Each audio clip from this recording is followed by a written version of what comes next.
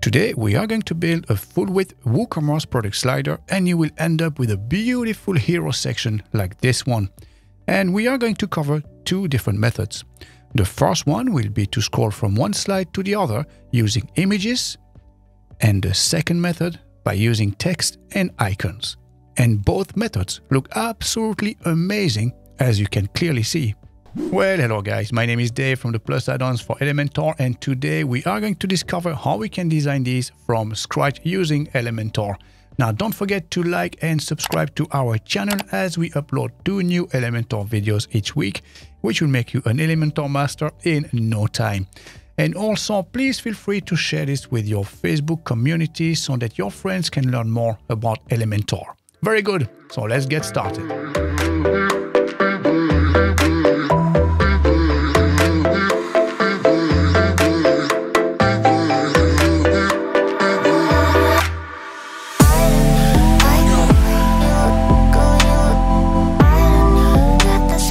Good, so first let's address the essential plugins that we need to complete this project.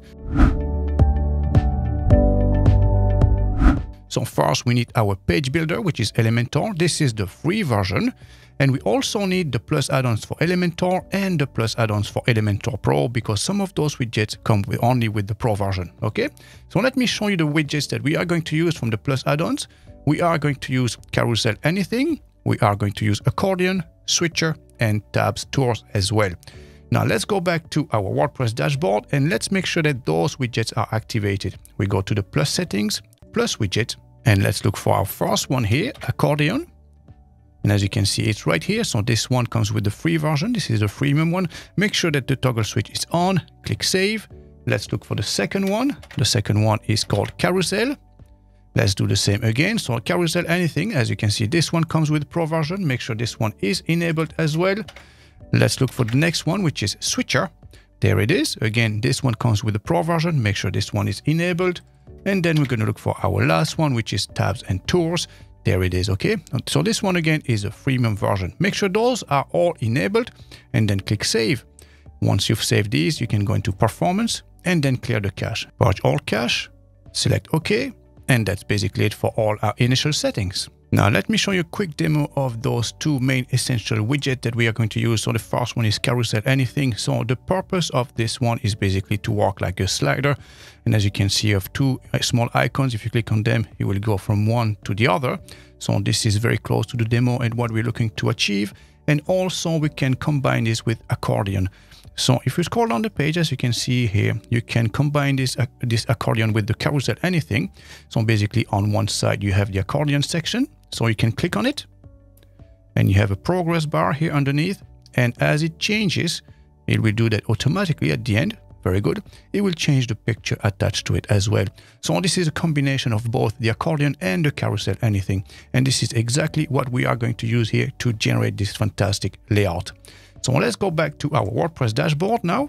So we are going to complete this project in two different steps. So first, we're going to create three different templates for each and every product that are being displayed here in our carousel section. And then we're going to create the page itself in which the carousel will be displayed. Okay, so let's go ahead with the first step. So we go to templates, saved templates. So let's create our first slide. So for this, we click on add new. We select the type, this is a section, and let's give it a name, so camera slide 1. Okay, so create template. So the slide that we are going to reproduce is this one here with the camera. As you can see, we have two different columns, one on the left, one on the right, one with the image and all the content right there, okay? So let's do this together. So for this, we're going to create a new structure. So this is two columns, just like this, left and right. So let's take care of our section itself first, okay? So we're going to click on the section. So this is boxed. The width remains the same. We're going to select a minimum height of at least 800 pixels.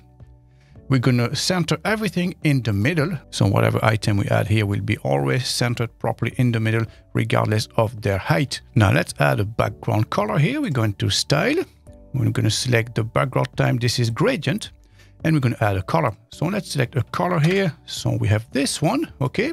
And we're going to add the exact same here and then we're going to go a little bit brighter.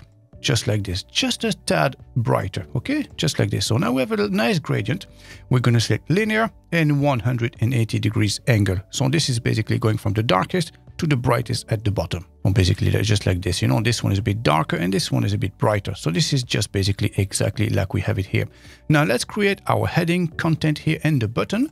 So for this, we're going to add some items right there. So let's click on those dots. And first, we're going to look for heading. And for this, we're just going to use the one that comes with Elementor, drag and drop. And then we have a bit of text. So let's look for text. So this is the one here, text editor, just underneath it, just like that. And then we're going to add the button now. So this one here, very nice effect as well. And this one is called advanced button. So let's look for this now. And the one that we are going to use is part of the plus add-ons is this one here. As you can see, I have two initials TP for the plus add-ons. Drag and drop it here, just underneath. And now the next step is to add our image. So let's go ahead with this. So let's click on this again and let's look for image. There it is. So drag and drop starting with our picture. So let's click on this and let's select our image. So this is the camera here, but feel free to upload any image that you want. Just make sure that you, you select a PNG file with a clear background, obviously. You know, you don't want any white background. You want it to be clear all around the image itself. So let's insert this now. There you go. So this is our image. Now that image is a bit too big, it's a bit too overpowering, isn't it? So let's go into style and let's change the width of this item. So maybe something around around here, maybe 75% will be just about perfect. Now let's take care of our heading here. So let's click on that. So we can insert the title. So this one is called Best Camera N66A. And we're going to align this to the left. Okay. Now let's go into style. Let's change the font color to white. And then we can change the typography. So this is our font basically. Okay. So let's make this a little bit bigger. So let's select maybe Poppins. It's a very popular one. There you go. So let's change the font size a little bit. So let's make it a little bit bigger. So maybe 65 or 64 would be just about perfect. Okay. Now let's take care of our text here underneath. So let's click on this. So let's insert our sample text right here. There you go. And now let's go into style. So obviously the font is a bit too dark at the moment. So let's change our color here, maybe to something a little bit brighter, maybe off white like this would be just about perfect. Then we can select the alignment to the left as well. And then we have our call to action button. So let's click on this. So as you can see, you can select among two different types. So this is a CTA, so call to action button. So this is the one you can select among 14 different styles. For this project, we're going to use style 2, but feel free to play around and choose the one that you prefer, okay? And then here, instead of read more, we're going to change this to buy now. So if it was an actual website, you, you would put the link here, obviously, to the page you want to redirect your product page right here. Now let's change the size of the button. It's a bit too small, as you can see at the moment. And for this, we're going to change our font, so typography again. So let's click on the small pencil here.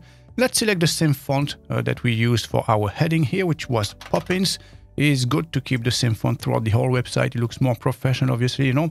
And let's change our size. So maybe let's try not too big, not too small. You don't want to be too overpowering either. So maybe 30 would be just about perfect. Now let's change the color. As you can see, it's too faded. There's no contrast, not enough contrast. So let's change the text color to white, just like that. So let's just hover on top just to make sure everything is displaying fine. And as you can see, it is perfect. Now we can publish just to save, you know, there you go. And now let's go back to our WordPress dashboard so we can exit back to the dashboard. There you go. And let's go back to our template. And as you can see right here on top, this is camera slide one. So this is the one we just created. Now, if you want to display three or four different products in your carousel section, you'll have to repeat the same steps now two or three times with the different products that you want to display. We're just going to show one at the moment. Now you get the, uh, the gist, you know how it works. And now let's create our page. Okay, so let's go into pages now. Then let's create our page. Let's click on add new. Now let's give it a title. WooCommerce product carousel, for instance. Okay, so let's click on publish, publish. And now we can edit this page with Elementor. Now for this layout, let's work off a canvas. So let's click on this gear here and let's select the layout to be canvas, just like this, okay? So this is a much neater slate for us to work from. And for this, let's add our structure. So just one column, this one, and we're going to make it full width all together, just like this. And just to make sure it takes the whole width, we'll add no gaps on any sides. There you go. Now we're going to add our carousel. So let's look for our widget now. So let's look for carousel and there it is, carousel anything. So drag and drop it right there, okay? And now we are going to add our slides. So as you can see, our slide one and slide two. So let's click on this one here and let's go ahead with the first one. So the first one was a camera, wasn't it? So we're going to select this for the template and that's the template that we created. So let's go and select this one. As you can see, of camera slide one. So there you go. That's number one. Boom, as you can see, beautiful already. Now we select the uh, slide number two. So slide number two was, was a watch. Again, this is a template and we select the template. So this one, watch slider two. And then we can add a third one, which was a mobile phone. There you go. So slide three, it'll be mobile phone. Again, this is template and let's select our template. So where is this one? Mobile phone, there you go, phone slider 3. Very good, so next we are going to stop the autoplay. It's probably easier on the eye while we're working on it. So let's disable this, we just, uh, that's fine, you know, we can scroll through it ourselves. And we're going to remove those small dots here uh, from the bottom. So show dot, no. At the moment, we're not going to, we're to remove this altogether because we're going to add our own scrolling uh, feature at the bottom. So let's go back to the content. Now we are going to cover two different methods to add a custom scroll feature here underneath. So the first one is the process and steps, which is basically text with an icon. And the other one is tabs and tours. And this will allow us to add images like this one. Okay, so let's go ahead with the first one. Before we go ahead with this, we need to give this a unique carousel ID. So let's call this product slider, for instance. Okay, so let's start with process steps first. So let me show you here quickly from the Plus Add-ons website. So basically this is what it looks like, you know. So if you hover on top or click on them, it will go from one image to the other and we can replace those sections here with an image inside them as well and we'll end up with the same result as we have here on our demo website. So let's do this together now. So let's look for our widget and this one is called process steps from the plus add-on. So we just drag and drop this underneath. So the first thing here, as you can see, this is displaying vertically. So we need this to be horizontal. And also we're going to remove the text here altogether. Okay.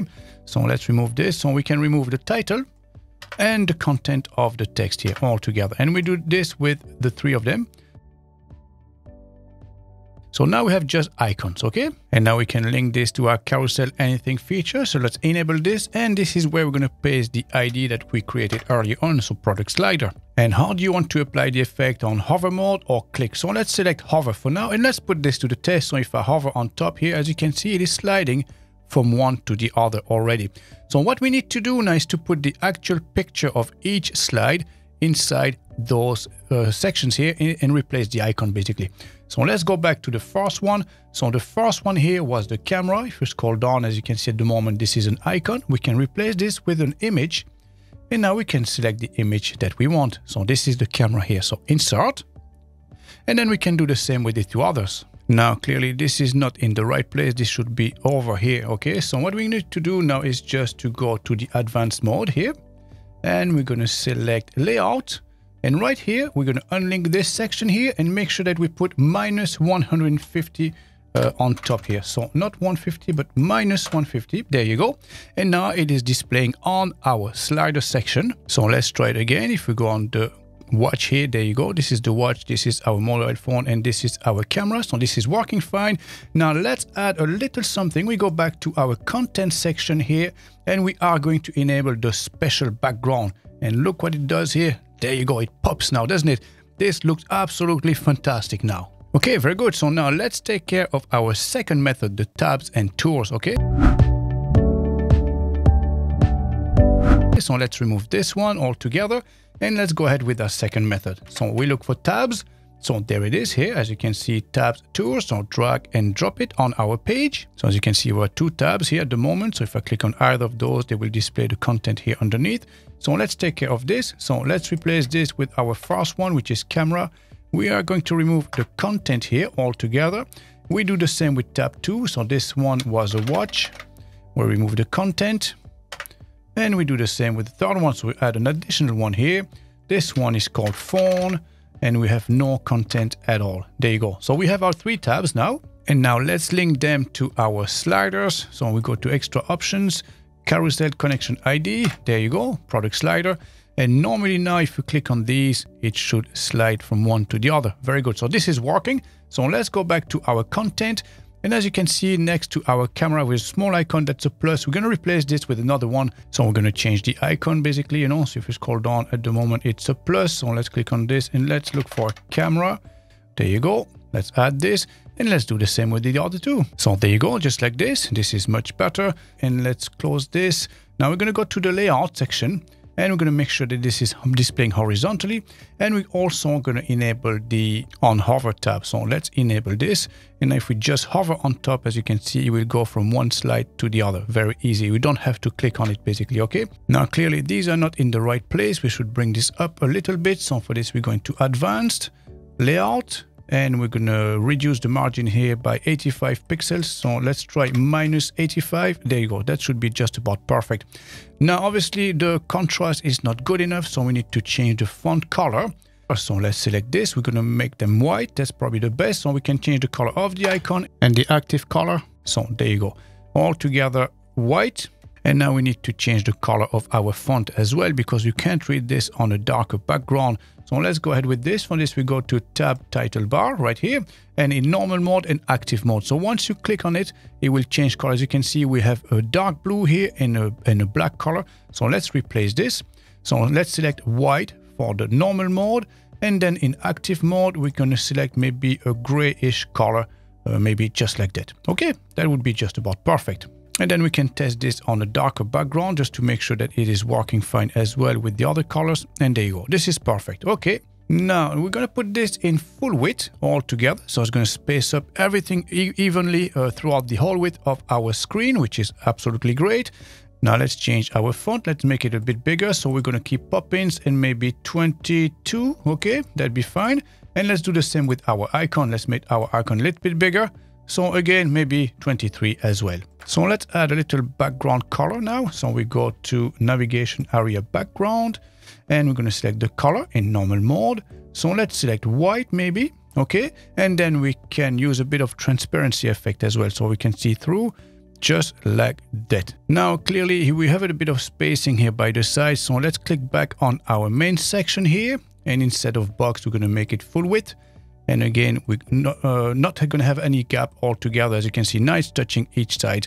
Now, as you can see, we still have a little bit of spacing here at the bottom. So let's click back on our section here and we're going to advanced and let's tweak this around a little bit. So at the moment we're at minus 85. So let's bring this down a little bit until it touches the bottom. Now this is perfect. Now just as a visual aid, let's add a little bit of a border on top of this. So we go back to style we're going to title bar background and we are going to enable the box border. So enable this. So it's going to be a solid border. Let's make it three. So unlink this. So the first one will be three and these ones will be zero, zero and zero.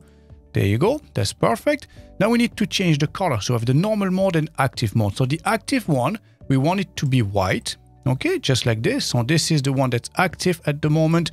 If we go from one to the other, as you can see, it's sliding from one color to the other. So we know which uh, of the slides are the active one.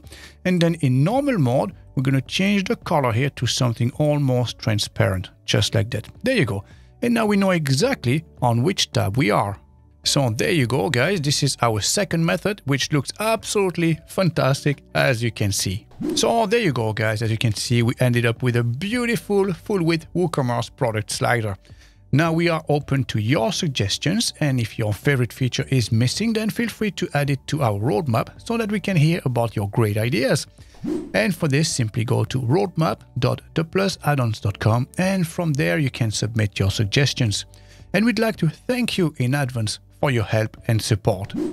Again, if you liked and learned something new in this video, then feel free to share it with your friends, your Facebook communities, and make sure to hit the like and subscribe button so that YouTube knows that you loved this video. Thanks for watching, and we'll see you guys in the next video.